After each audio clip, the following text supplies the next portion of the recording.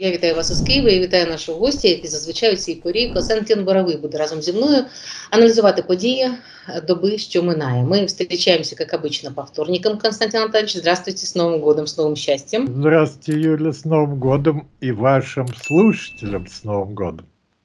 Спасибо. Я от имени, кстати, наших зрителей и слушателей как раз э, хочу и вас также поблагодарить за постоянство за постоянство сотрудничества с нами. И напомнить, что вы можете, дорогие друзья, где бы вы ни были, в любом уголке мира, подписываться на наш канал. Ну, начнем мы сегодня с малоприятных, конечно, новостей. Эм, мы поговорим про интенсивные удары, про эти атаки ракетные на э, украинские города. И я вижу, э, по данным Forbes, Россия потратила порядка 620 миллионов долларов на массированную атаку 2 января. Константин Антонович, вы как предприниматель, бизнесмен, как бы вы потратили эти деньги? А, ну, понимаете, это же ведь сейчас главная проблема. А, санкции не работают. Россия получает все чувствительные комплектующие – но самое главное – это деньги. От, полутриллиона до триллиона долларов получает Россия в год. И эти деньги идут на войну в Украине, на укрепление режима. Это главная проблема.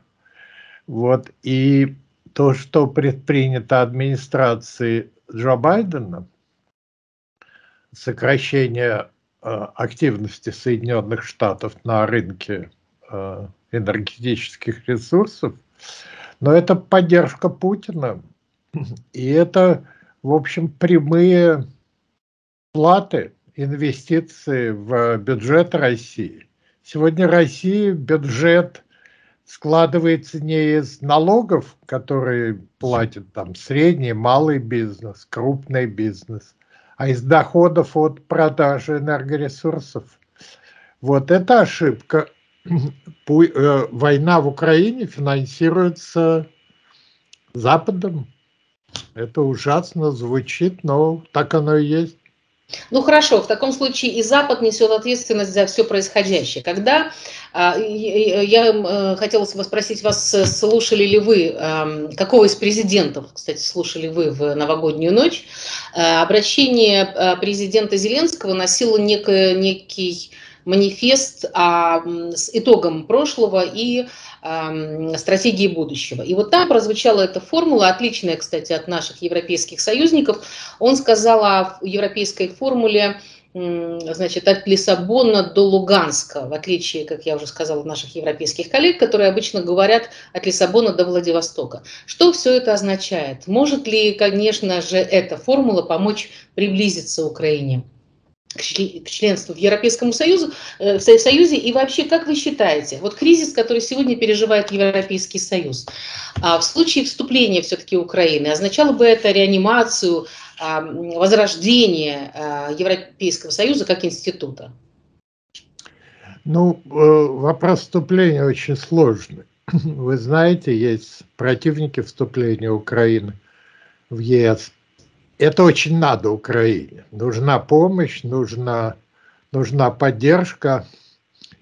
А, это создаст некоторые новые условия для Украины. Уже нельзя будет напрямую заниматься демпингом, что, в общем, очень сильно раздражает и Польшу, и Венгрию. Вот придется соблюдать эти правила, международные правила Европейского Союза. Тем не менее, Европейский Союз нужен. А вступление Украины в Европейский Союз это ну, мало что дает Европейскому Союзу, конечно.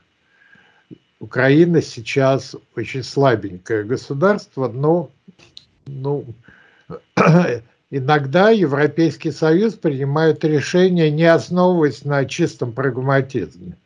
Речь идет о будущем Европы.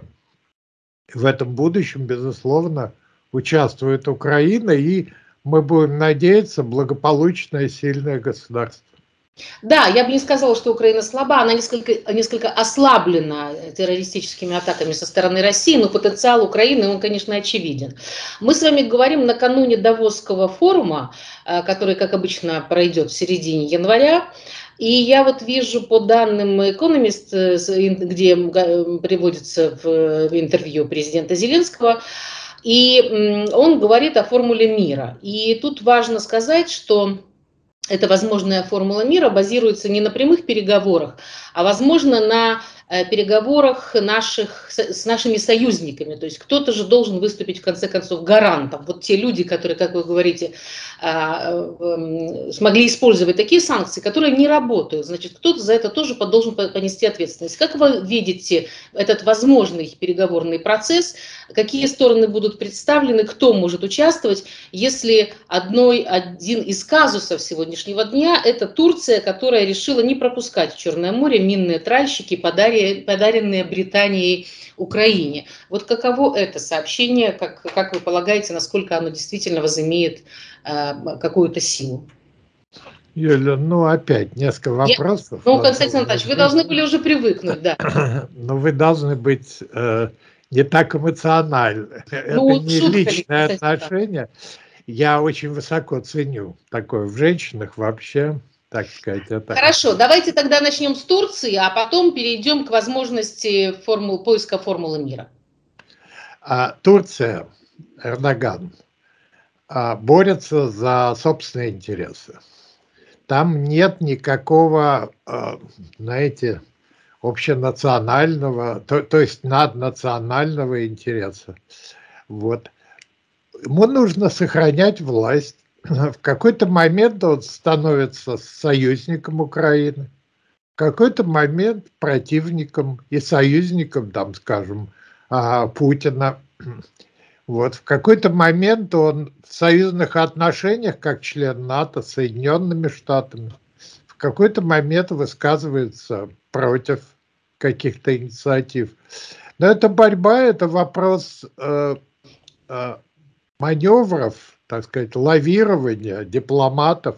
Это сложный вопрос. То, что он не пропустил э, тральщики, это значит, это недоработка дипломатов, в том числе украинских. Понимаете, и признаков слабости в этой области, э, э слабости дипломатического корпуса Украины, ну, они очевидны, и мы с вами говорили об этом.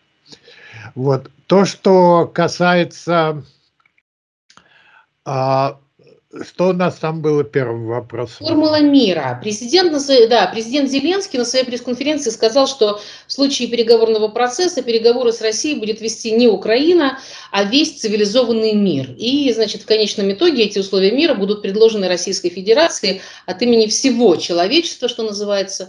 И тогда уже Россия будет решать, с кем, с кем она, ей нужно будет определиться. Ну и, и поэтому я хотела бы, какие варианты действительно, кто может выступить гарантом этой безопасности. И вот этот подход, новый поиск подхода к формуле мира, каким он может быть?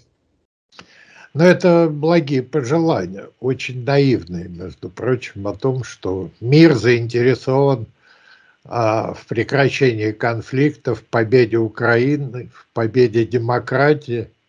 Мир очень разный, и не все уверены в том, что а, значит, Украина представляет, так сказать, западный цивилизованный мир.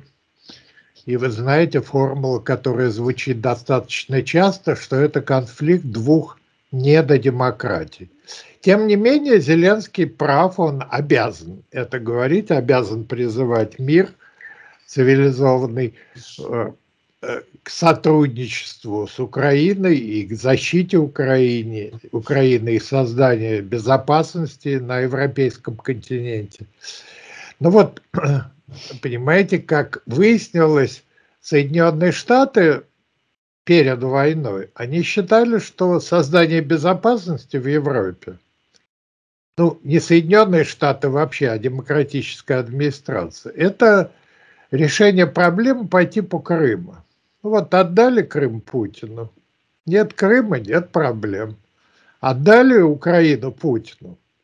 Ну, авторитарный режим, ну, что же делать? И в Беларуси авторитарный режим, и в самой России.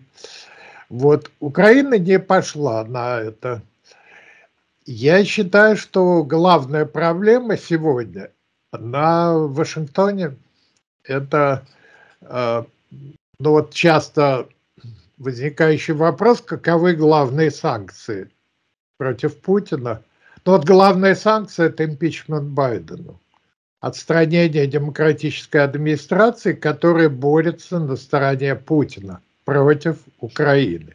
Даже осуществляя там вот микроскопическую помощь Украине военную. И одновременно ограничивая помощь от других союзников, очень там заметно, активно. Сейчас самая серьезная проблема – это пропагандистская кампания в Украине, которая фактически не позволяет, связывает руки Зеленскому. Пропагандистская кампания, которую государственная власть начала. Пропагандистская кампания о победе Украины. О том, что начав победу, так сказать, под Киевом, вот сегодня Украина продолжает побеждать Россию. Но, к сожалению, это не так. Нам бы всем очень хотелось этого, но, к сожалению, это не так. Но это такая ловушка пропагандистская, в которую попал, попала власть вообще. Она после того, как утверждала, что наша цель – выход границам 91 года или выход границам 24 февраля, теперь говорит народу, что наша цель – остановить конфликт, любые переговоры, ну, просто технически не может. Вот это ловушка пропаганды. Константин Анатольевич, а теперь давайте теперь я разобью ваш тезис на две части. Ловушка ли это на самом деле? Тут без веры в победу, конечно же, ничего не будет. Я вижу, вопреки всем трудностям, да, которые иногда а, случаются на пути к предоставлению какой-то военной помощи, я вижу, что глава Офиса президента благодарит наших союзников.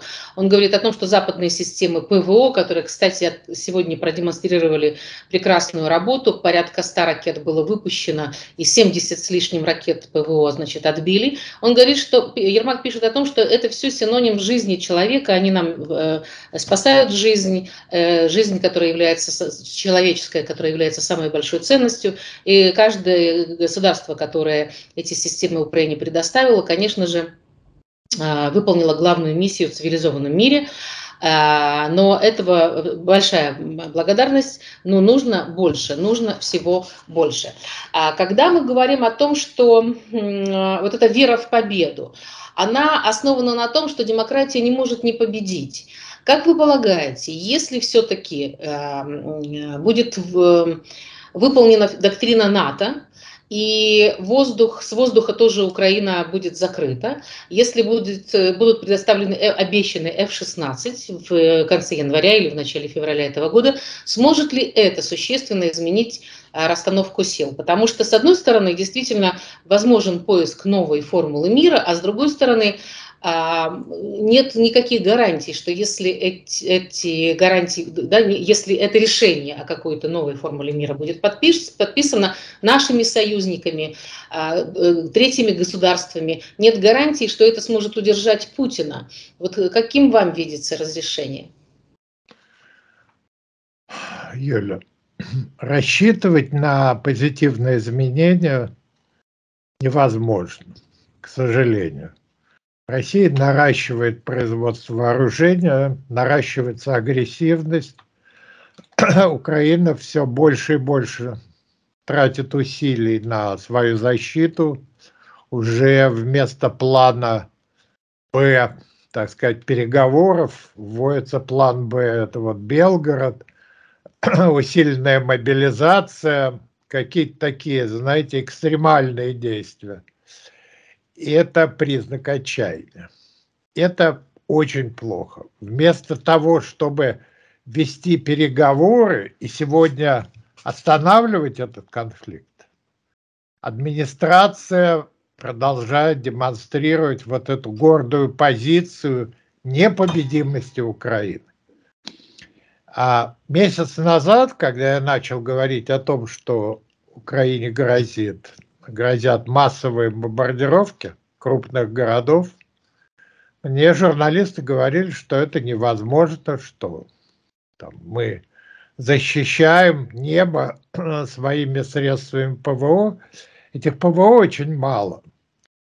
Верные союзники Украины, которые помогают Украине, они мало что могут. Главный союзник Украины, который может существенно изменить ситуацию, Соединенные Штаты. Он идет, ведет двойную игру. Он играет и на стороне Путина, и на стороне Украины, на стороне Украины в меньшей степени. Вот. Поэтому будущее очень нерадостно. И это надо понимать. И оптимизм, который источает сегодня там, администрация президента, традиционно, вот эта позитивная, гордая пропагандистская кампания, она очень нужна народу. И это очень правильно.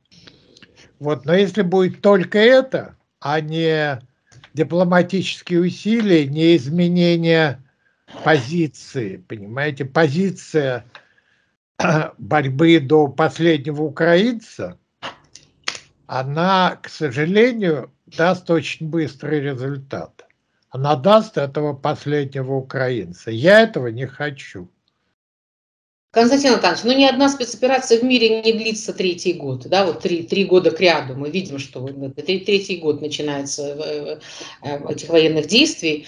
А, как вы считаете, вот, э, потому что говорить о победе Путина тоже невозможно в этих условиях. Ну, во-первых, ты истощаешь свою собственную экономику, ты трепаешь эту бедную Украину непонятно за что, без всяких причин, Э, осознание к твоим людям тоже приходит, потому что, как вы знаете, одна из ракет, выпущенных сегодня по Киеву, не долет... на Киев, она не долетела до назначенной цели, она упала в Воронежской области, разворотила там пол деревни, Э, то есть Путин приводит войну и на свою территорию. Все, что связано с э, его агрессией, от этого страдает и его население. Мы это все прекрасно видим и это все понимаем. Э, какую тактику, вот вы говорите, он победит, но как вы себе это представляете? Он будет продолжать унич... выбрасывать э, деньги российских налогоплательщиков на то, чтобы выливать эти ракеты, выбрасывать их в воздух, наше ПВО будет их уничтожать мы будем все нищать, значит, экономика будет приходить в состояние дисбаланса, как в России, так и в Украине. А потом, ну хорошо, даже если он заходит в какие-то города, он же не может удержать власть. Это что, будут пыточные, э, эм, концентрационные лагеря, э, лагеря несогласных. То есть это будет ну, просто Армагеддон. А, и он это тоже не может не понимать. Да, пожалуйста. Значит, то, что касается граждан России, налогоплательщиков. В России нет граждан, нет налогоплательщиков. Есть рабы, которые будут выполнять все, что им прикажут. Это сделано осознанно э, в течение многих лет. Там, оппозиция уничтожалась, гражданское общество уничтожалось. Это первое. Что будет происходить после э, того, как Путин победит? Ну, то же самое, что происходит в Беларуси. Будет э, то же самое, что происходит в Чечне, в Абхазии, в Южной Осетии, там, в Сирии, во многих местах, в Молдове, в Приднестровье. Значит, будет назначена администрация, свой Лукашенко, будет введена полиция, будет э, э, жесткий режим, во главе будут бандиты, так сказать, во главе этого режима. Ну, бандитов, которые согласятся выполнять роль карателей в Украине, их достаточно. Я думаю, что а, ну, таких Лукашенков очень много, Константин Анатольевич, ну у нас уже был один бандит, не, один, не единожды осужденный, звали его Виктор Янукович. И мы знаем, какая судьба его, какая участь его ждала в Украине. Ну вот теперь он может вернуться в Украину, не, не рабочая если на штыках будет сидеть, если захочет. Это очень неудобная позиция, сидеть на штыках. Ну, Юля, достаточно предателей, которые согласятся быть генералами-губернаторами. Достаточно. Константин Иванович, а может для наших союзников быть убедительным э, следующий шаг Путина, который может быть направлен на разжигание войны на Балканах, скажем? Вот это, мне кажется, более вероятно, чем, чем попытка... Юля, это то, что делается постоянно. В республиках бывшей Югославии, очень активна агентурная сеть России. В некоторых случаях это были попытки просто государственного переворота.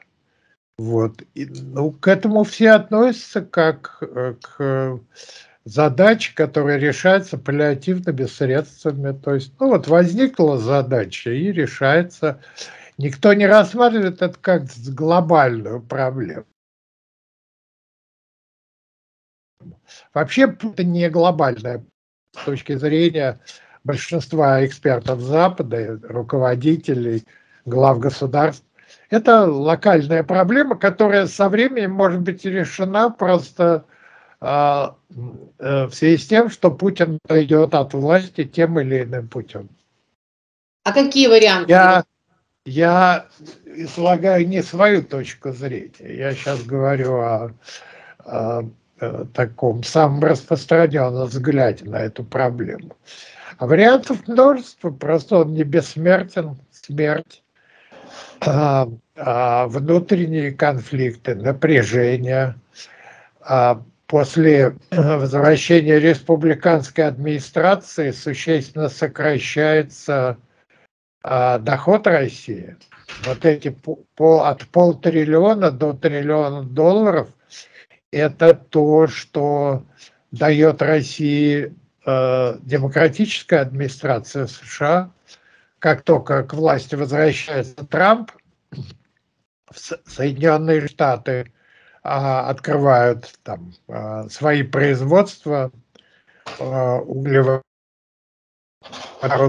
Ну, существенно меняется ситуация для Путина. Вот. И это же ведь тоже игла такая, знаете, наркотическая Значит, он привык, страна привыкла к этому полутриллиону долларов, и даже сокращение на там, 10%, 20% приведет к очень серьезному переходному процессу в России. Вот. Ну и причин может быть много. Более мудрая позиция Украины, которая перестанет играть в игры Путина. То, что делает сегодня Зеленский, вот эти гордые заявления, заявление о том, что мы победим, от заявления о продолжении войны. Это то, что нужно Путину. Ему нужна а, мобилизационная а, а, политика в России. Ему нужна мобилизационная политика в экономии, в экономике. А сегодняшняя ситуация перевода России на военные рельсы уже привела а, к увеличению внутреннего валового продукта, созданы рабочие места. Вот оказалось, что это очень выгодно России, понимаете, при том, что источник финансирования, он внешний. Это вот энергоресурсы в основном. Вот и Зеленский вместо того, чтобы останавливать эту войну, вместо того, чтобы решать проблему которую он обязан решать как президент, защита своей страны, защита своих граждан. Он играет в игры Путина. Это ошибка. Константин Антонович, ну никогда еще Украина не была защищена, так как сейчас мы видим, я вот смотрю даже э, решение э, э, заявление главы оборонного комитета Бундестага которая значит, выступает с призывом немедленно предоставить Украине ракеты «Таурус». Германия должна передать Украине э, крылатые ракеты «Таурус», при этом э, нужно отгрузить их немедленно, иначе все наши обещания поддержать Украину э, по формуле столько, сколько нужно, станет пустой фразой. Но мы видим, как... Я думаю, что на самом деле события будут развиваться быстро, и так случилось, что по иронии судьбы мы с вами в прямом эфире наблюдаем еще и за политическим сериалом, который называется «Не допустить Трампа к выборам». Я хотела вот, чтобы мы фактор Трампа сейчас обсудили, потому что по-разному к нему относятся и по-разному эксперты оценивают его новое возможное президентство, но мы видим, что штат Колорадо, штат Мэн не допускают его даже участие, к участию выборам, э, исключая возможность появления его фамилии в бюллетнях для голосования. Какие перспективы у этой э, кампании против Трампа? Ну, никаких перспектив. Это незаконные действия. Это продолжение политики демократической партии, которая борется всеми возможными способами за сохранение своей власти. Но сейчас, когда уже стало ясно, что это невозможно, ну, попытки нанести хоть какой-то ущерб Трампу, а, четыре судебных процесса в четырех юрисдикциях, судебных процессов значительно больше. Перспектив, а, значит, использования закона который был принят после гражданской войны, фактически закон о люстрациях для конфедератов, для тех, кому запрещали временно участвовать в управлении государством, использовать этот закон в нынешних условиях, ну, это абсурд.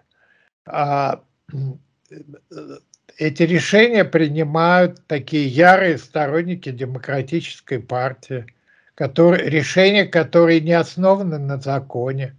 Это скорее подтверждение а, ну, неправовых действий демократической партии.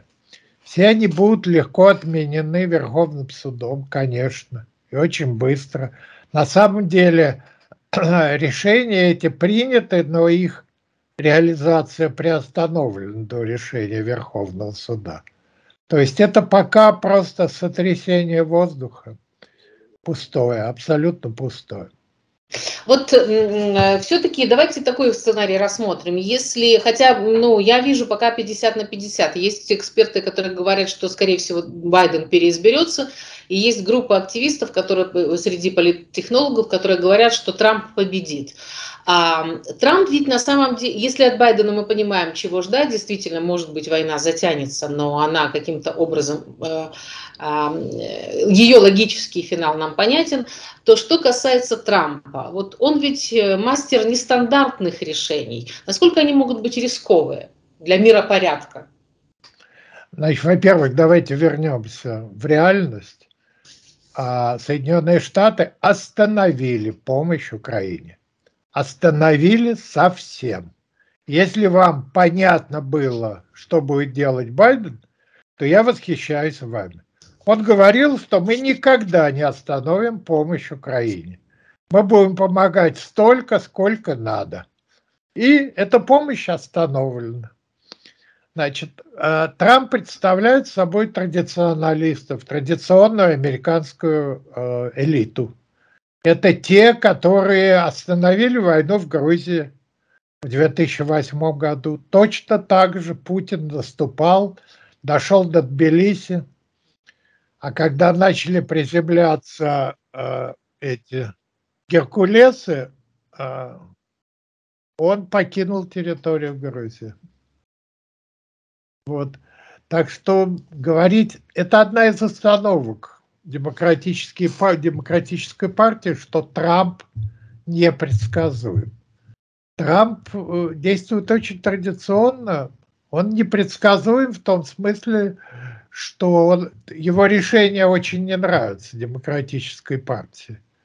Он развивает бизнес, он снижает налоги.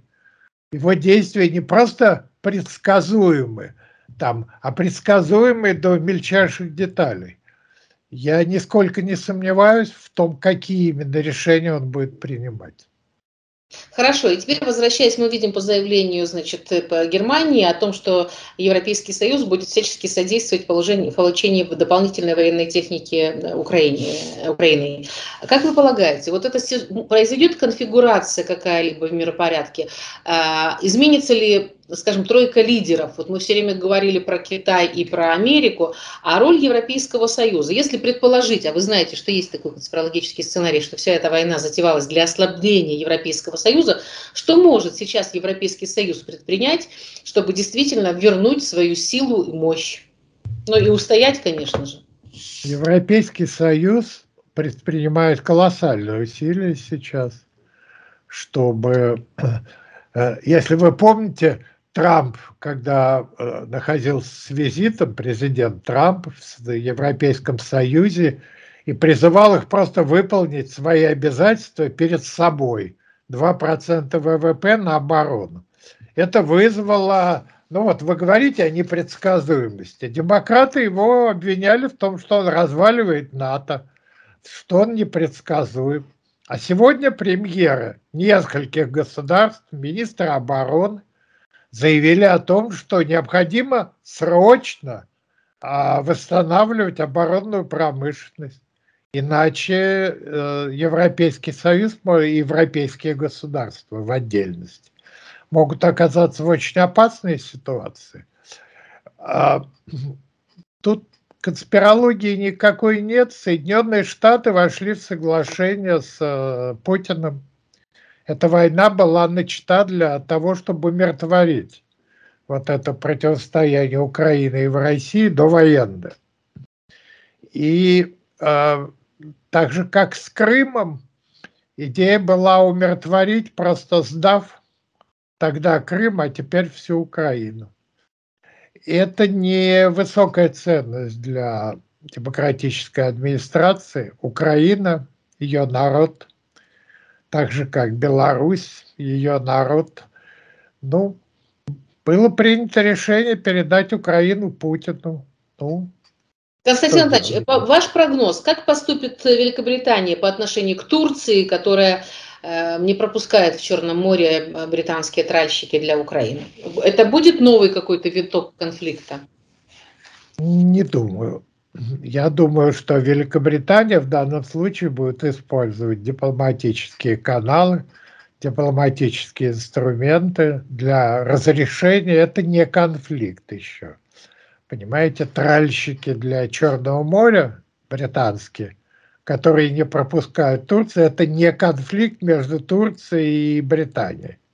Это, ну, скажем, оригинальное, необычное поведение Турции, которое объясняется, ну, некоторыми э, внутренними проблемами. Борьбой Эрдогана за сохранение власти, борьбой Эрдогана со своими оппонентами, скажем, в НАТО. Вот. Это решаемая проблема. Поверьте мне, я думаю, что э, все тральщики в конце концов окажутся в Черном море, и Турция позволит их, им пересечь Босфор Дарданеллы. Но в любом случае это э, интересная интрига, мы будем следить за развитием этих событий, так что нам с вами на следующей неделе будет о чем поговорить. Спасибо огромное, Константин Боровой. Спасибо за возможность услышать вашу точку зрения, спасибо нашей аудитории за внимание и доверие. Как обычно, с Константином Анатольевичем встречаемся в это же время через неделю. Счастливо! Спасибо. thank you